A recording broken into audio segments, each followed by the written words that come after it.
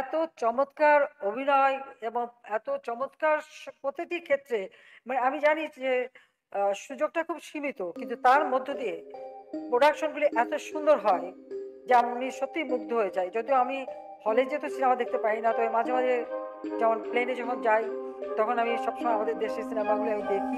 ওহ ভাই, তাহলে কি শাকিব খান প্রিয়তমার রেকর্ড ভেঙে ফেলল এবার রাজকুমারের মাধ্যমে? রাজকুমারের প্রশংসা ঝড় বয়ে যাচ্ছে দেশ ও বিদেশে। কারও কারও মন্তব্য শাকিব খান না থাকলে বাংলাদেশের ফিল্ম ইন্ডাস্ট্রি এককালেই ভেঙে পড়বে। বরাবরই শাকিব খান দখল করে ফেলে বেশিরভাগ হল নতুন নতুন লুক ও অ্যাকশন নিয়ে হাজির হন দর্শকদের মাঝে।